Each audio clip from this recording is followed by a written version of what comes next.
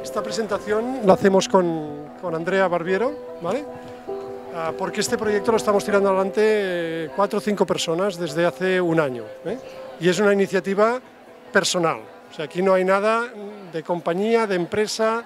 Somos tres o cuatro personas que nos encontramos en su día y que a partir de una idea la hemos ido desarrollando y hemos encontrado ayuda de alguien, que os comentaré, y estamos desarrollando la idea y ahora ya estamos en fase de uh, intentar poner en marcha uh, la idea que luego se convirtió en modelo y del modelo ahora queremos pasar a la, a la implementación o a intentar poner en marcha.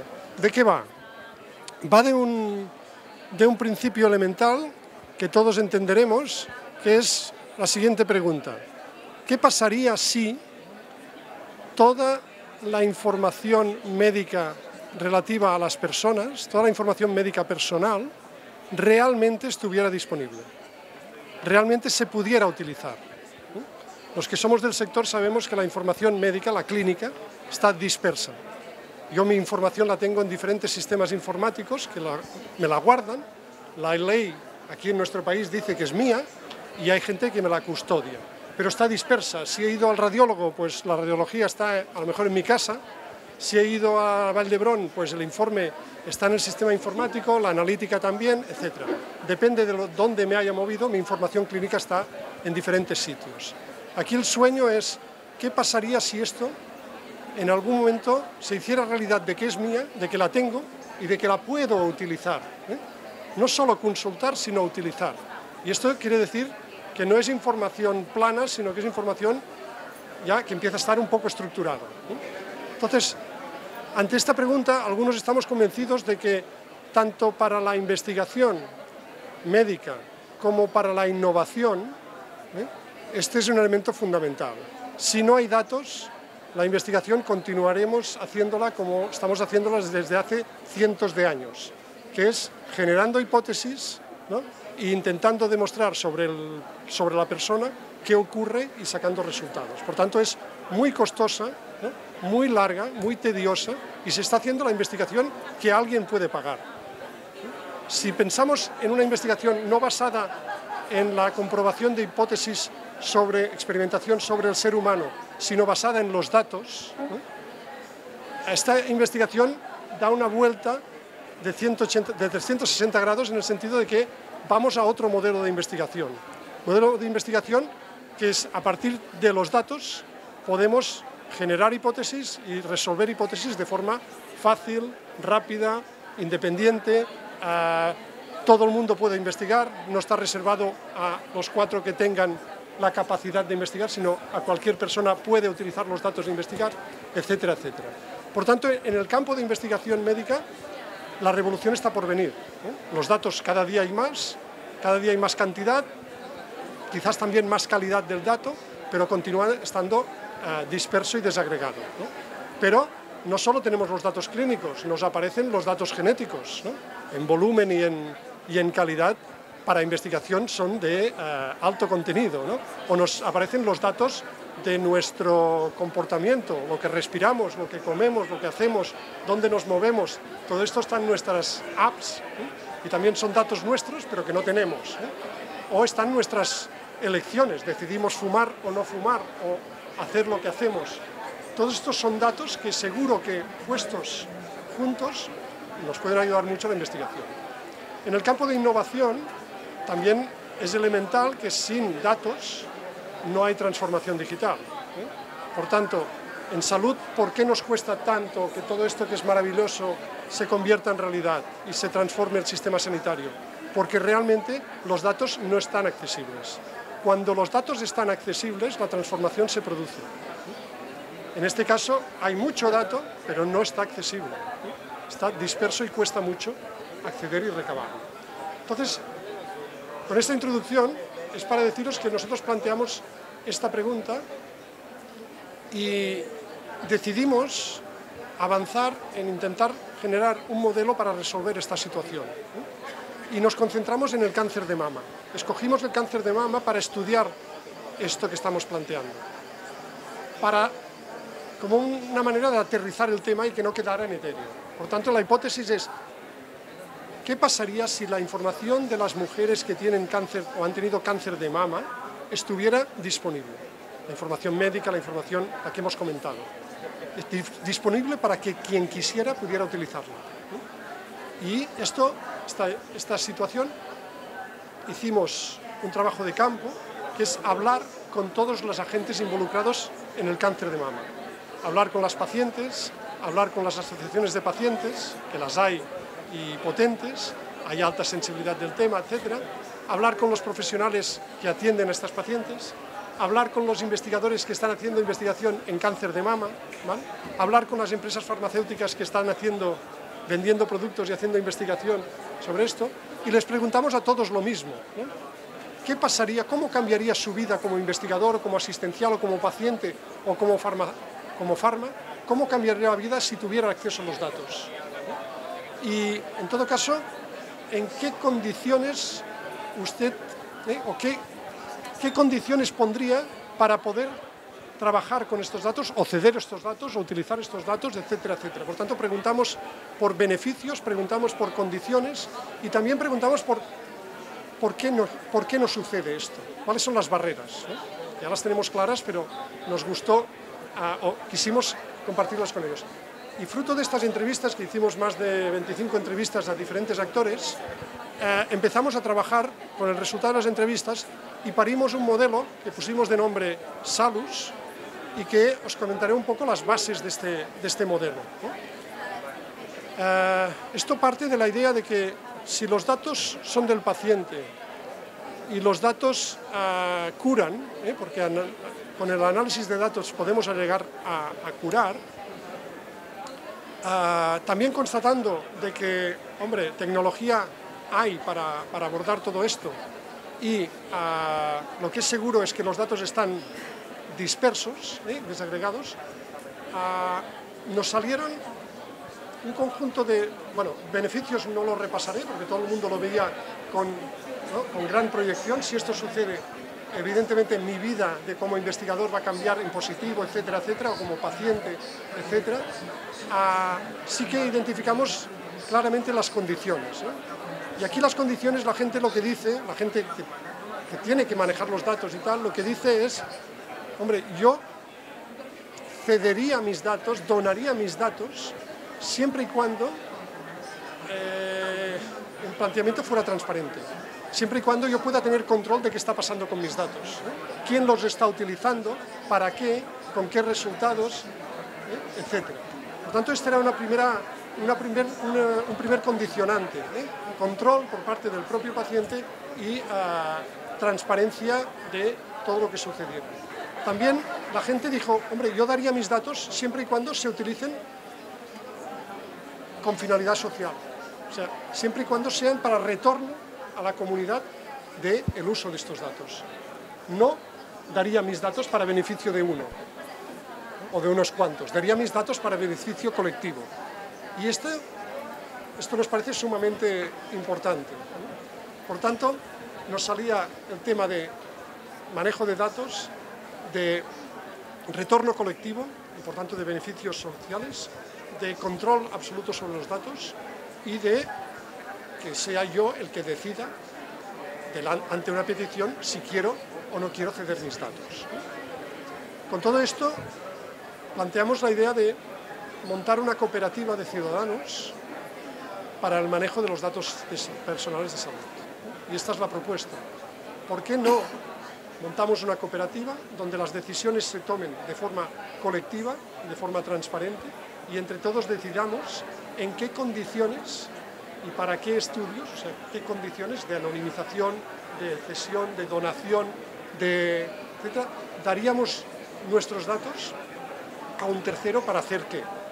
Por tanto, lo que queremos es trabajar el tema decisional de toma de decisiones en cuanto a gobierno del uso de mis datos. Este es un aspecto importante de la cooperativa y que nos parecía que la cooperativa, puede dar este tipo de, con unas bases,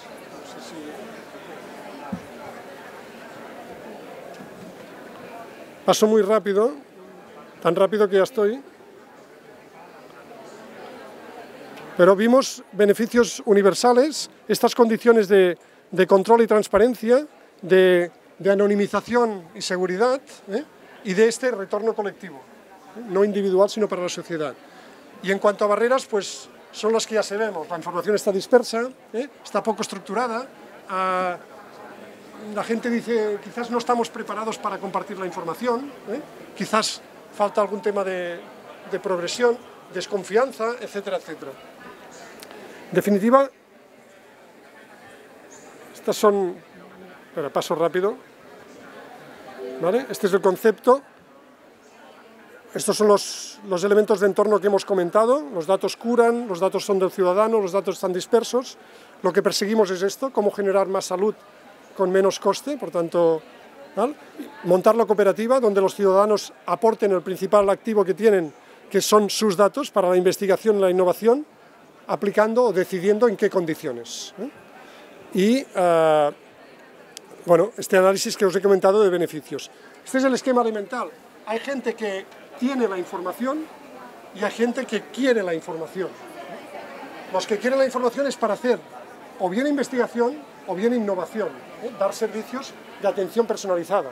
Yo, a partir de tu información, puedo contestar preguntas que no tienen hoy respuesta o puedo darte un servicio más personal. Y hay gente que tiene mis datos, está custodiando mis datos, en el entorno público, en el entorno privado, en las apps, etcétera, etcétera.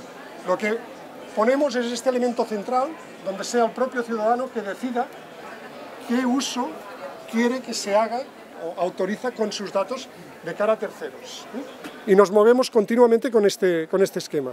Nos centramos en el cáncer de mama, porque nos pareció eh, sumamente relevante la situación en Cataluña, las entrevistas, los diferentes temas y lo que hemos visto de beneficios universales, de condiciones y de barreras al respecto.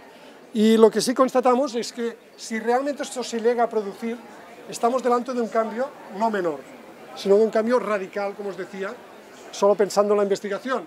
Pero estamos pasando de que hoy hay pocos datos a que van a haber datos en abundancia. Estamos pasando de que hoy, como mucho, cedemos los datos a una posibilidad de donar los datos en determinadas condiciones, pero donarlos. ¿eh? Nos inspiramos bastante en la donación de órganos. En nuestro país es un elemento que es, está bien concebido y es un modelo potente. Damos los órganos de forma altruista, por tanto, sin recompensa económica individual, para un bien social o de retorno social, de forma anónima, nadie sabe dónde ha ido mi órgano, etcétera, etcétera, y sin trapicheo económico, ¿eh? por decisión voluntaria mía. Por tanto, también hay un cambio aquí. Participación, el, ciudadano se puede sentir mucho más partícipe porque sabe que con su experiencia, con sus datos, con su caso, se va a contribuir para la investigación. Esta gestión de individual a colectiva, esta eliminación de estos intermediarios, hoy mis datos alguien los utiliza y se los revende, esto sucede, ¿eh? y en cambio pasamos a eliminar los intermediarios y a que sea el propio ciudadano el que decida. Y por tanto a superar esta asimetría que estamos metidos o superar los problemas de, de publicación. Nosotros, cualquier investigación que se, haya, se haga a través de Salus, a través de la cooperativa, va, tiene la obligación de publicar los resultados, gusten o no gusten a quien esté detrás. ¿eh? Por tanto, esto, estos son elementos que, se pueden, o que pueden estar detrás de la propuesta. Termino con un poco las bases del modelo ¿eh? que hemos comentado. Esta, este concepto de donación de mis datos, pero condicionado, yo daría mis datos siempre y cuando se utilicen de forma anonimizada, con este riesgo de desanonimización o no, o lo daría para este tipo de estudios, pero no para este otro tipo de estudios. Por tanto, es donación condicionada. Estamos hablando de que queremos gestionar los derechos de acceso, no queremos gestionar un repositorio con todos los datos, no estamos planteando esto, no, estamos pidiendo a los ciudadanos, dame tus datos que los vamos a poner en un único sitio, sino que lo que queremos es trabajar con la información descentralizada y distribuida como está hoy. Y por tanto aquí nos sale un elemento, o dos elementos. Uno, tecnología, estamos viendo y analizando a fondo blockchain, como esta tecnología que nos debe permitir esta seguridad, trazabilidad, anonimización, etcétera, y de, de información distribuida. Y el otro elemento es que no estamos, lo que queremos no es manejar los datos de los pacientes o de los ciudadanos, sino que queremos manejar las llaves de acceso a sus datos.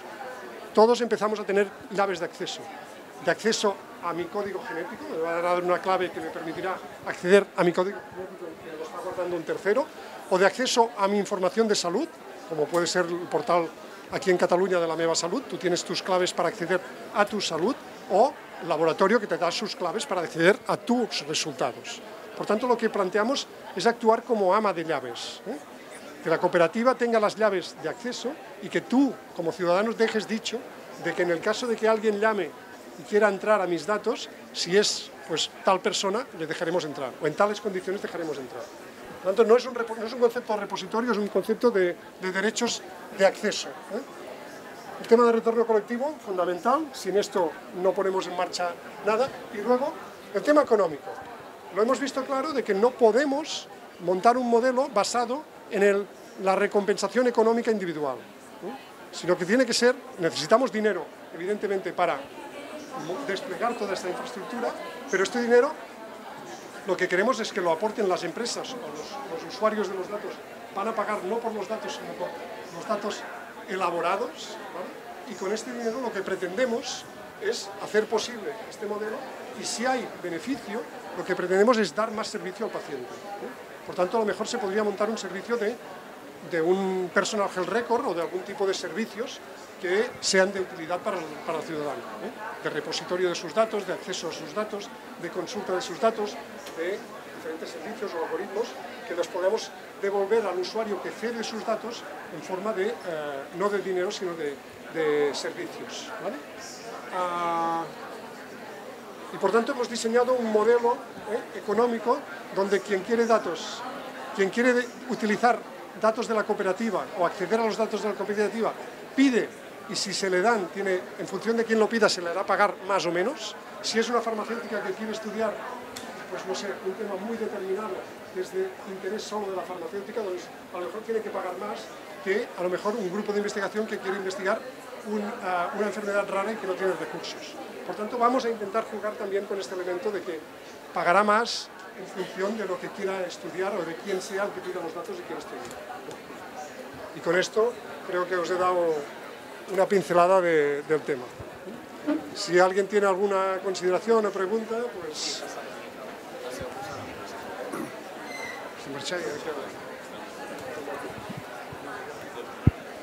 Con lo que cuentas, veo que siempre estará muy limitado por capacidad de gestión de una cooperativa, que te, que te tengan que dar permisos profeso para, para gestionar los datos, que te tengan que dar claves de acceso, esto nunca será un, un, Big Data de verdad. Mm, siempre será pequeño. Uh, no hay forma... Sí. No, por número de usuarios, número de usuarios que comparten un número de datos pequeño. Mm, no sé, a lo mejor tal como tenéis pensado puede llegar a crecer, no lo sé. ¿No sería más fácil uh, pensar en que la, la, en este país, por lo menos, la salud es prácticamente universal, el derecho a la asistencia, y los datos personales obtenidos con dinero público tienen que ser públicos por narices. Y se acaba. Esta iniciativa, sí.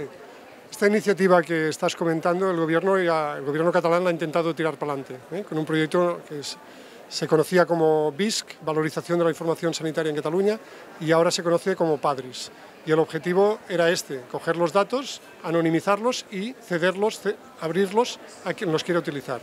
Este proyecto se ha cancelado, se ha parado, se ha cancelado y se ha reconvertido en uh, otra iniciativa de carácter más limitado. Solo centros públicos pueden acceder a los datos, solo te darán datos los que necesites para hacer la investigación que quieres hacer, solo estarán los datos del sistema público, por tanto no habrá más datos, solo se uh, utilizarán recursos públicos para preparar estos datos. O sea, uh, el hecho de que se necesitaran recursos para tirar adelante la iniciativa y recursos privados fue lo que bloqueó el proyecto en su día, ¿eh?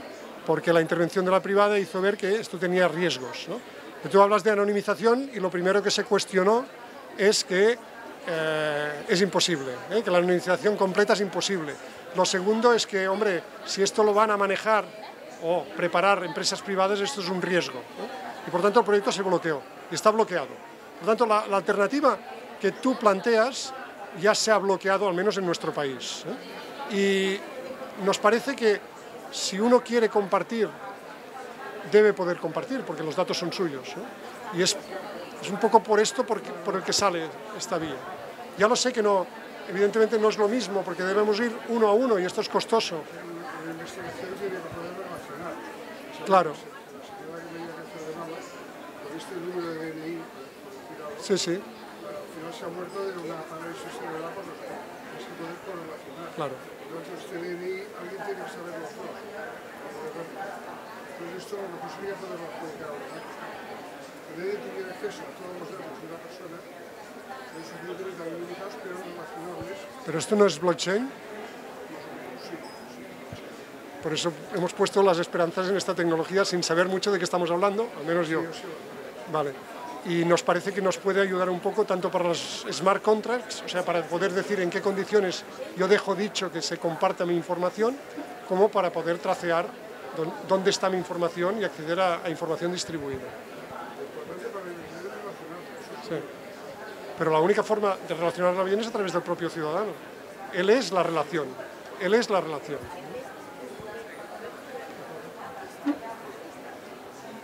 ¿Qué más? Sergio.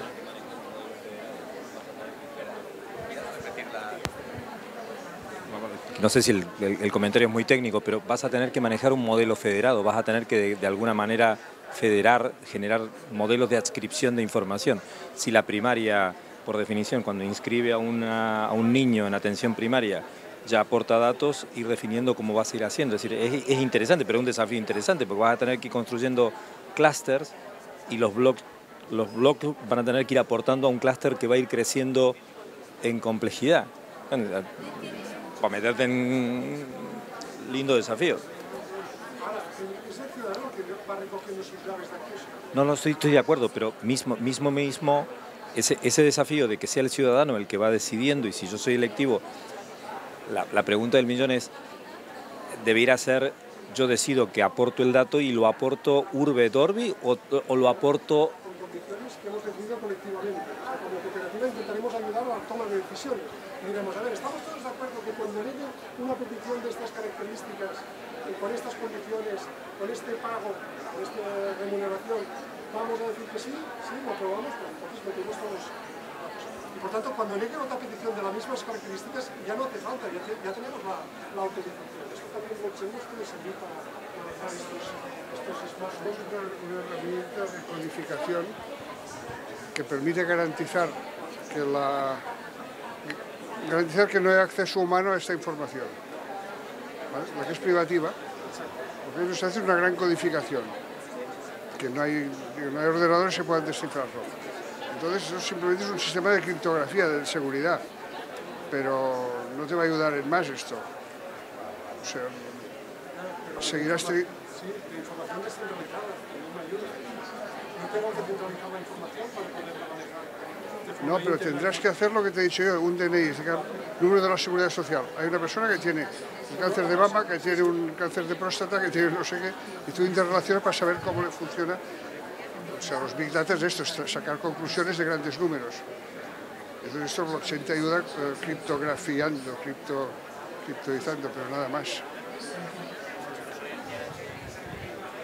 Entonces, eh, una persona podrá disponer de su, de su información y si ese es el objetivo, ¿cómo lo haces para juntarla? Porque como tú has dicho, está, está distribuida por distintos sitios. A mí lo, lo que me parece más costoso es que para cada persona tengamos que ir a, a todos los centros donde ha estado para recolectar. Tú, en cada sitio donde hay información tuya, te den una llave de acceso. Esto está sucediendo. Si tú vas a DKV, a DKV, están dando un código de acceso a tu información. ¿eh? O si no lo están dando, lo, lo- lo están dando. ¿eh? Si vas a Echevarne a hacerte una analítica, te van a dar un código de usuario para tu información. Si vas a un sistema sanitario público aquí en Cataluña, tienes las llaves de acceso a tu carpeta personal de salud. Ya estamos hablando de tres llaves. Aquí hay unos señores aquí al lado que están dando una llave donde vas a poder acceder a tu código genético. Por tanto, estamos hablando de cuatro, cinco, seis, siete, ocho llaves que tú tienes porque te las dan. Lo único que te decimos es, deposita estas llaves en la cooperativa, ¿vale? Y nosotros te guardamos estas llaves. Y ahora vamos a hablar de cómo, entre todos, decidimos, ante una petición de acceso a información, ¿qué respondemos? Porque como tengo tus llaves y tú me has dado permiso, porque yo seré, como cooperativa, yo seré tu ama de llaves. Y si tú me dices, si viene DKV a hacer una investigación de este tipo, ah, dáselas. Pues yo lo tengo escrito y se las doy. O si viene un centro de investigación a hacer una investigación sobre mi enfermedad, que tengo una enfermedad rara, doy mis datos de forma abierta y no anonimizada. Dásela. Un poco va, por, va por aquí la línea. La información va a continuar estando distribuida y esto no lo vamos... Yo creo que no va a haber un gran, un gran repositorio con toda nuestra información. Esto sería también muy peligroso, ¿eh? porque es alguien que lo controla todo. Tú estás en el fondo siendo depositario de los datos de tu cliente. Sí. Entonces, el cliente, como, como, un, como un incentivo a que te den esos datos y esas llaves, digo, oiga, si usted cuando quiera todo su historial, yo lo tendré, usted me lo pide. ¿Es un servicio también? ¿Estamos pensando en dar un servicio al cliente, al cooperativista? Que sea justamente este. Este servicio de acceso a tu información, de consulta, de ordenación, de acceder desde cualquier punto del mundo, el Personal Health Record te lo damos gratis. ¿Por qué? Porque con tus datos vamos a conseguir dinero para darte este servicio. ¿Cómo? Hombre, trabajando tus datos y cediéndolo con tu autorización cuando tú decidas a terceros. Es difícil, ¿eh? ¿Imposible? Ah, comentaros que nosotros esto estamos decididos y lo estamos tirando para adelante. Y estamos buscando financiación de cualquier tipo, grande, pequeña, de cualquier tipo, fondos competitivos, etcétera, para tirar adelante la iniciativa. No total, sino hay que empezar por partes. ¿no? Seguramente queremos empezar con, con cáncer de mama, ¿por qué no? Coger el cáncer de mama, las personas que tienen o que han tenido cáncer de mama y que quieran trabajar con nosotros el, el proceso decisional de cómo y en qué condiciones compartir esta información, utilizando blockchain, etcétera.